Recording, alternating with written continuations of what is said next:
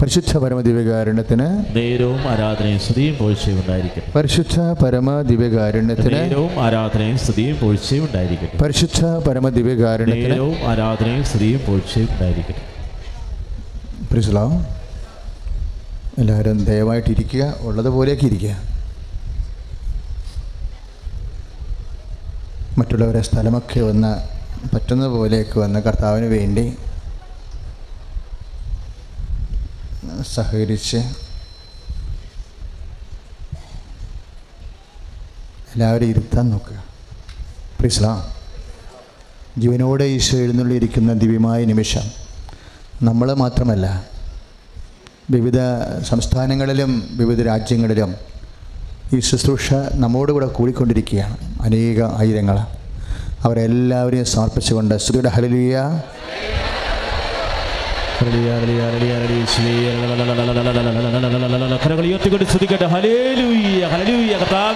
ഇപ്പോൾ വിദൂരങ്ങളിലായിരുന്നു പ്രാർത്ഥിക്കുന്നവരുടെ നിയോഗങ്ങൾ സമർപ്പിക്കുന്നു സങ്കടങ്ങൾ സമർപ്പിക്കുന്നു.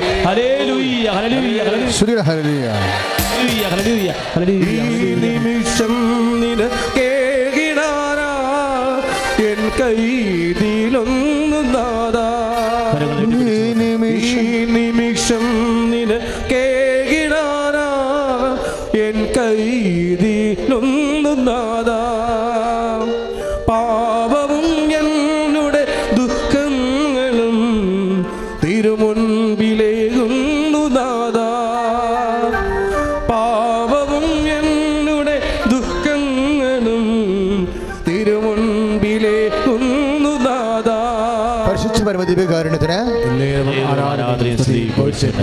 പരിശുദ്ധ ഉണ്ടായിരിക്കട്ടെ പരിശുദ്ധ പ്രിസ്ലാം പ്രിയപ്പെട്ടവരെ നമ്മൾ വളരെ കാതലായ ചില സാക്ഷ്യങ്ങൾ കേട്ടു. അതിലൊരു സാക്ഷ്യം അവസാനത്തെ സാക്ഷ്യങ്ങൾ. മരണ സർട്ടിഫിക്കറ്റ് എഴുതിയ ഒരു വിഷം കഴിച്ച സഹോദരന്റെ മരണത്തെക്കുറിച്ച് പറഞ്ഞ സാക്ഷ്യമാണ്. ആ സാക്ഷ്യം വളരെ നല്ല സാക്ഷ്യമായിരുന്നു. അത് കേട്ടുകൊണ്ടാണ് ഞാൻ ഇങ്ങോട്ട് അകത്തോട്ട് കയറി വരുന്നത് അപ്പം എന്റെ മനസ്സിൽ കുറേ കാര്യങ്ങൾ വേറെ വന്നു.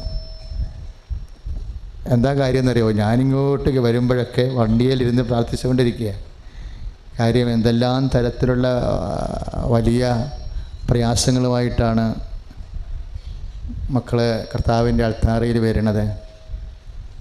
അല്ലേ? കടങ്ങൾ ഉള്ളവർ രോഗപീഠ ഉള്ളവർ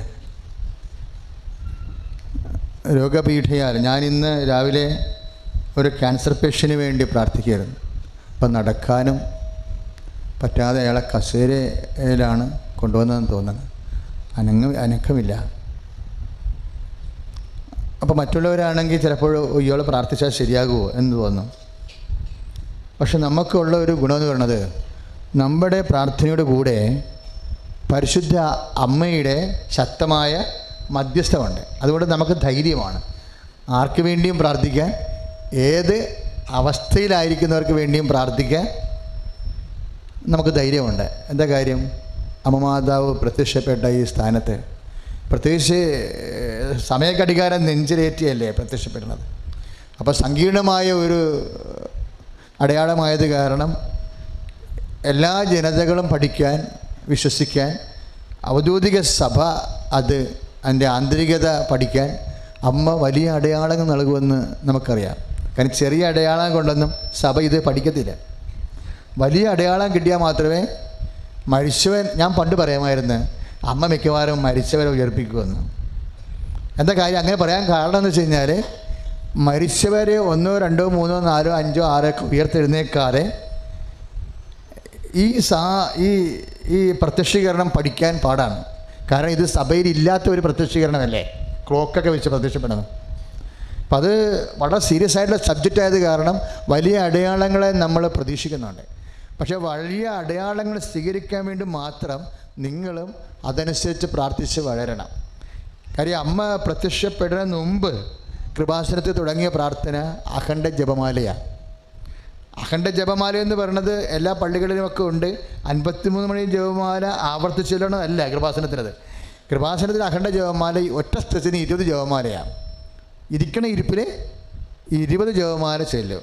പത്ത് സ്വർഗസ്ഥനായ പിതാവിന് പത്ത് തന്നെ പറയുന്നതിന് പകരം പത്ത് എന്ത് അൻപത് നന്മ നിറഞ്ഞ പറയുകയും ചെയ്യലും ആൾ പണ്ടൊക്കെ ഞങ്ങൾ പഠിക്കണ കാലത്ത് പറയും ഇത് എന്തൊരു ആവർത്തന വിരസത പ്രാർത്ഥനയാണ്. എപ്പോഴും നന്മ നിറഞ്ഞ് പറയുമേ നന്മ നിറഞ്ഞ് പറയുക സ്വസ്തിയെന്ന് അതൊക്കെ അതൊക്കെ കേട്ടാണ് ഞങ്ങൾ പഠിച്ചു വന്നത്. അപ്പോൾ എപ്പോഴും നന്മ നിറഞ്ഞ് പറയും പത്ത് നന്മ നിറഞ്ഞ് പറയും ചെല്ലുമ്പോൾ അതിന് വിരസതയാണ് മൊണോട്ടണിയാണെന്നൊക്കെ പറഞ്ഞുകൊണ്ട് ആണ് പഠിച്ചുകൊണ്ട് വന്നത്. പഠിച്ചു വന്ന് അച്ഛനായി ഫീൽഡിൽ ഇറങ്ങിയപ്പോൾ അമ്മ പറഞ്ഞ് ആ പത്ത് മേലൊരു ചേഞ്ച് വരുത്താൻ പോകണ്ടേ അപ്പോൾ അത് കുറക്കാനായിരിക്കും അമ്മ പറഞ്ഞ് അത് കൂട്ടാനാണെന്ന് പറഞ്ഞു. ഇവിടെയാണ് ഈ കരണക്കുന്തൊക്കെ പരാജയപ്പെട്ടു പോണത്. എന്താ പ്രശ്നം വെച്ച് കഴിഞ്ഞാൽ അത് പിന്നെയും നമ്മുടെ ഒരു പ്ര- പ്രാർത്ഥനയുടെയും വിശ്വാസത്തിന്റെയും സമയങ്ങളെ കുറച്ച് ലളിതവരിക്കഴിക്കണതാണ് കർത്താവിന്റെ പീഡാസകരങ്ങളെ ഓർത്തല്ലേ അത് പ്രാർത്ഥിക്കണം ആ ഒറ്റ വിഷയമല്ലേ ഓർക്കുന്നുള്ളൂ. ആ ഒറ്റ വിഷയങ്ങളെ അതിൽ ഓർക്കുന്നുള്ളൂ. സമ്പൂർണ കൊന്തയിൽ പീഡാസകരങ്ങൾ മാത്രമല്ല ഓർക്കണത്. മംഗളവാർത്ത ഓർക്കും. മംഗളവാർത്ത മനുഷ്യാവതാരം തൊട്ട് കർത്താവിന്റെ പരസ്യജീവിതവും കുർബാനയും കുർബാനയും കഴിഞ്ഞ് കർത്താവിന്റെ തിരുമരണവും ഉയർത്തെഴുന്നേൽപ്പും വീണ്ടും വരവും വരെ ഉയർത്താണ് സമ്പൂർണ ജപമാല എന്ന് പറയുന്നത് ഒരു ജപമാലയിൽ മാറ്റങ്ങൾ വരുമ്പോൾ അത് ചേഞ്ച് ഫോർ പോസിറ്റീവ് ചേഞ്ച് വരുമ്പോൾ അത് പിന്നെയും എട്ടാം ക്ലാസ്സുകാരനെ കൊണ്ടുവന്ന് ആറാം ക്ലാസ്സിൽ ഇരുത്തിക്കണം ചെയ്യേണ്ടത്? എട്ടാം ക്ലാസ്സുകാരനെ പത്താം ക്ലാസ്സിൽ ഇരുത്തണം. പ്രാർത്ഥിക്കുന്ന വിശ്വാസിയെ ഇപ്പം പല ആൾക്കാരും കർണക്കൊന്ത നൽകി ചെല്ലിയിട്ട് ഏതാണ്ട് വലിയ ആനക്കാര്യം ചെയ്തു എന്നും പറഞ്ഞുകൊണ്ട് ദൈവത്തിനെ പറ്റിക്കുന്നുണ്ട്. അത് ചെല്ലണ്ടെന്നല്ല അച്ഛൻ പറയണത്. അത് കൊന്തയെ സബ്സ്റ്റിറ്റ്യൂട്ട് ചെയ്യരുത്. ജോമാലയ്ക്ക് പകരമാക്കരുത് ജവമാലക്ക് പകരമല്ല. ബിരിയാണിക്ക് പകരം അച്ചാർ കഴിച്ചാൽ മതിയാ. അത് ജപമാലയ്ക്ക് പകരമല്ല. ജപമാല ഇവിടെ എന്താ സംഭവിച്ചതെന്ന് വെച്ച് കഴിഞ്ഞാൽ നിലവിലിരിക്കുന്ന ജപമാലയെ അപ്ഗ്രേഡ് ചെയ്തപ്പോൾ മുമ്പത്തേക്കാൾ കുറച്ചുകൂടി നമുക്ക് പ്രയാസമുള്ള രീതിയിലാക്കി മാറ്റി. എനിക്കത് മനസ്സിലായില്ല. ഇപ്പം ഇന്നൊരു സാക്ഷി ഇവിടെ പറഞ്ഞില്ലേ? എന്താ പറഞ്ഞത്? വെള്ളമില്ല കോട്ടയത്തെ ഒരു സാക്ഷി നമ്മൾ കേട്ടില്ലേ? വെള്ളമില്ലാതിരുന്നു ഞങ്ങൾ അവിടെ കുഴൽക്കിണർ കുഴിച്ചു അപ്പോൾ ആവശ്യത്തിന് വെള്ളം കിട്ടിയെന്ന് അല്ലേ? കോട്ടയത്തുകാരൊക്കെ ആ സാക്ഷ്യം മനസ്സിലാകത്തുള്ളൂ. അല്ലെങ്കിൽ വണ്ടർമേട് ആ ഭാഗങ്ങളുള്ളവർക്ക് ആ സാക്ഷ്യം മനസ്സിലാവും. തീരദേശത്തുള്ളവർക്ക് ആ സാക്ഷ്യം മനസ്സിലാകത്തില്ല. കാര്യം വെള്ളമില്ലാത്ത അവസ്ഥ എന്താണെന്ന് നമുക്കറിയത്തില്ല. ഞാൻ ശാന്തന്മാരെ ധ്യാനിപ്പിക്കാൻ ചെന്നപ്പോൾ ശാന്തന്മാരെ ധ്യാനിപ്പിച്ചുകൊണ്ടിരിക്കുന്ന സമയത്ത് ഒരു ചേടത്തി വന്ന് എന്റെ അടുക്കെ ഞങ്ങൾ ഇവിടുന്ന് പൊറുതി ഉപേക്ഷിച്ച് പോവുകയാണ്. ശാന്തന്മാരെ വന്ന് ഇടിക്കുക. അപ്പോൾ ഞങ്ങൾ പൊറുതി ഉപേക്ഷിച്ച് പോവുകയാണ്. ഞാൻ പറഞ്ഞു ചേച്ചി എന്നാ അത്തിനാ പൊറുതി ഉപേക്ഷിക്കണത്? പറഞ്ഞു അച്ഛാ വെള്ളം കിട്ടണില്ല എന്ന് പറഞ്ഞ്. അപ്പോൾ അവർ ഭർത്താവ് മരിച്ചു പോയി രണ്ട് പെൺകുഞ്ഞുങ്ങളുണ്ട്. അപ്പോൾ എന്താ പ്രശ്നം എന്ന് വെച്ച് കഴിഞ്ഞാൽ അവർ താമസിക്കുന്നത് മലയുടെ എഴുന്നൂറടി മുകളിലാണ് താമസിക്കുന്നത് മലയുടെ എഴുന്നൂറടി മുകളിലാണ്.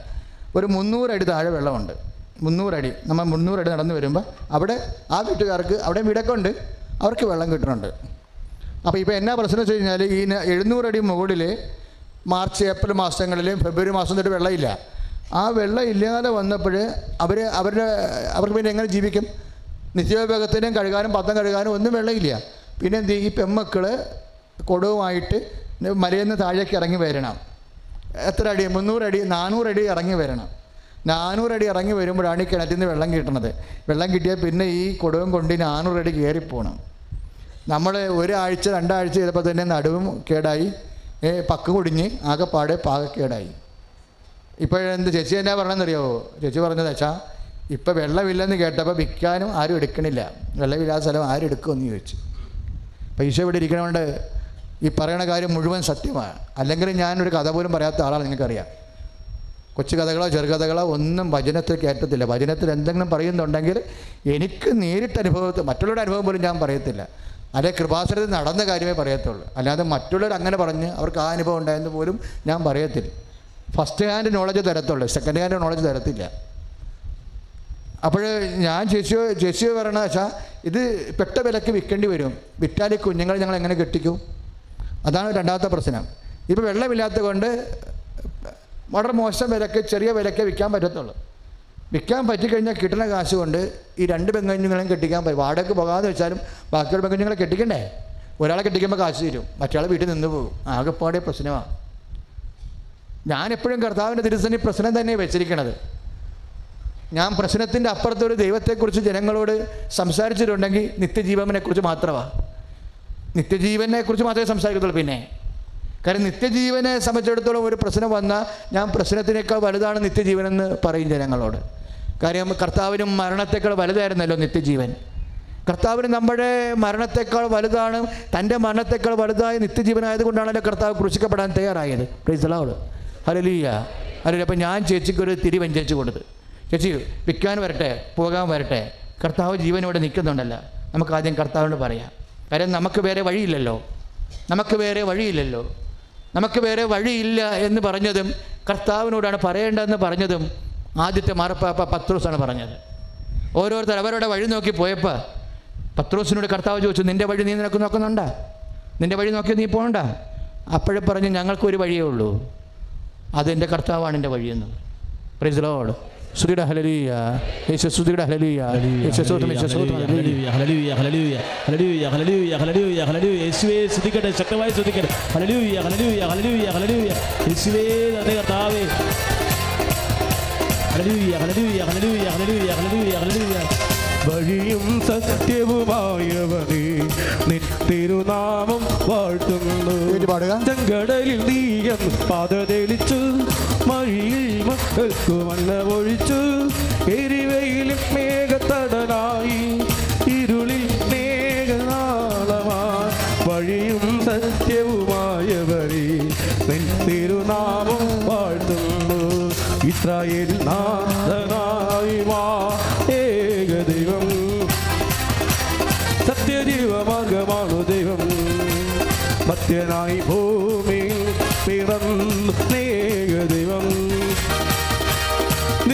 നിത്യജീവനെ കിടന്നു ദൈവം. അപാപിതാവേ അപപിതാവേ ദൈവമേ.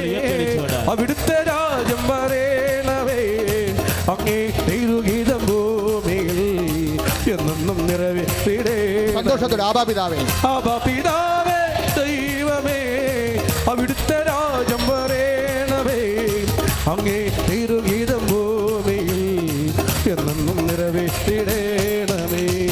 പരിശുദ്ധ പരമദിവികാരണത്തിന് നേരവും ആരാധനയും സ്തുതിയും വീഴ്ചയും ഉണ്ടായിരിക്കട്ടെ. പരിശുദ്ധ പരമദിവികാരണത്തിന് നേരവും ആരാധനയും സ്തുതിയും വീഴ്ചയും ഉണ്ടായിരിക്കട്ടെ. ഒരു തിരിവഞ്ചരിച്ച് കൊടുത്തിട്ട് പറഞ്ഞ് രക്ഷിപ്പോയി. പോയി ഒരു വിശ്വാസ പ്രമാണവും ഏഴ് സ്വർഗസ്ഥനായതും ഏഴ് നന്മ പറഞ്ഞവരും ചെല്ലാൻ പറഞ്ഞു. എന്തിനാണ് വിശ്വാസ പ്രമാണം ചെല്ലാൻ പറഞ്ഞത്? നിങ്ങളൊക്കെ ചെല്ലണ വിശ്വാസ പ്രമാണമല്ലേ? ആണോ? മകന് ജോലിയില്ലാത്തപ്പോഴും ഇന്റർവ്യൂവിന് പോയിരിക്കുമ്പോഴും ഇപ്പം കേസിന് പോയ കാര്യം പറഞ്ഞില്ലേ? ഒരു ചെടുത്ത് കേസിന്റെ കാര്യം പറഞ്ഞില്ലേ? ഇപ്പോൾ കുറേ സാക്ഷ്യമായി ഇതുപോലെ. കേസും കോടതിയും കേസും കോടതിയും അമ്മ എല്ലാത്തിനും ഇറക്കിക്കൊണ്ട് പോരുകയും ആ സാക്ഷ്യം കഴിഞ്ഞ ആഴ്ച ഒരു സിസ്റ്റം സാക്ഷ്യം പറഞ്ഞായിരുന്നു മുപ്പത്തിമൂന്ന് കേസ്. അവനോട് അവന്റെ അവന്റെ ജഡ്ജ് തന്നെ ബന്ധമുള്ള വക്കീലിനോട് പറഞ്ഞു ഇവൻ പണി മേടിക്കുമെന്ന് പറഞ്ഞു. അപ്പോൾ വിളമ്പടിക്ക് കാശുരുവൻ കൈ വെച്ചുകൊണ്ട് കണ്ണീരോടെ പോയി കൂട്ടി നിൽക്കും അമ്മയെ പണി തരാൻ പണി തരല്ലേ? ഞാൻ അമ്മയുടെ മകനാണ്. എന്റെ കയ്യിൽ നിന്ന് അബദ്ധം പറ്റിയാണ്. അമ്മക്കല്ലേ അറിയാൻ പാടുള്ളൂ. എനിക്ക് എനിക്ക് ഇവിടെ തന്നെ എനിക്കൊരു ചാൻസ് തരാൻ പറഞ്ഞു.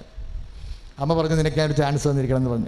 ജഡ്ജി ഉടനെ ചോദിച്ചു വക്കീലിനോട് ഈ പറഞ്ഞ വേറെ ഒരു പരാതി ഉണ്ടെന്ന് പറഞ്ഞില്ല? ആ പരാതിയുടെ പേപ്പർ എന്തെന്ന് ചോദിച്ചു? അപ്പോൾ പേപ്പർ നോക്കിയിട്ട് പേപ്പർ കാണാനില്ല. അപ്പോൾ അവൻ പറയുകയാണ് അമ്മ പേപ്പർ എടുത്ത് മാറ്റിയെന്ന് കുറച്ച് അഞ്ച് മിനിറ്റ് കഴിഞ്ഞപ്പോൾ വക്കീൽ ജഡ്ജി പറഞ്ഞു നീ പോയിക്കൊള്ളാൻ പറഞ്ഞു. അവനെ വെറുതെ വിട്ടു. മുപ്പത്തിമൂന്ന് കേസുള്ള ആളെ. അതെന്താ അവൻ അവിടെ നിന്ന് പറഞ്ഞു അമ്മ ഇനിയുള്ള കാലം എനിക്ക് അബദ്ധം പറ്റി. ഇനിയുള്ള കാലം ഞാൻ അമ്മയെ ഓർത്ത് ജീവിച്ചോളാമെന്ന് പറഞ്ഞു. അതാണ് സംഭവം. നിങ്ങളൊക്കെ അങ്ങനെ പറയണം എല്ലാവരും കേട്ടാ. എന്തെങ്കിലും കയ്യബദ്ധങ്ങളൊക്കെ വെച്ച് വെറ്റിയിട്ടുണ്ടെങ്കിലേ നിങ്ങൾ നിരാശപ്പെട്ട് ദൈവം ഞങ്ങളെ തള്ളിക്കളഞ്ഞ് ഇപ്പോൾ അപോഷനായി അല്ലെങ്കിൽ വേറെ എന്തെങ്കിലും കുന്ത്രാണ്ടത്തൊക്കെ ചെന്ന് ചാടി മനസ്സിന് ഭാരമാണ്. ദൈവം എന്നെ ദൈവം എന്നെ കൈവിട കൈവിട്ടിരിക്കുകയാണ്. ദൈവം പോലും എന്നെ കേൾക്കത്തില്ല. കാര്യം എന്റെ കയ്യിരിപ്പ് അത്രമായിരുന്നു ഇനിയിപ്പോൾ എങ്ങനെ നന്നാകാനാണ്? ആ ഒക്കണേ ഒക്കട്ടെ. അങ്ങനെ ഒന്ന് ഇവിടെ വന്നിരിക്കരുത് ഒന്ന് പറഞ്ഞാൽ മതി. അമ്മേ കുറച്ച് അബദ്ധം പറ്റിപ്പോയി. അറിഞ്ഞും ചെയ്തിട്ടുണ്ട് അറിയാണ്ടും ചെയ്തിട്ടുണ്ട്. ഇപ്പം എനിക്ക് എല്ലാം മനസ്സിലായ മനസ്സിലായി വരുന്നുണ്ട്. എനിക്കൊരു അവസരം കൂടി തരണം എന്ന് പറഞ്ഞാൽ നിനക്ക് പത്ത് അവസരം തരും. സുധിയുടെ ഹലലിയ യേശു ശ്രദ്ധിക്കട്ടെ ഹല്ലേലൂയ, ഹല്ലേലൂയ. ഹല്ലേലൂയ,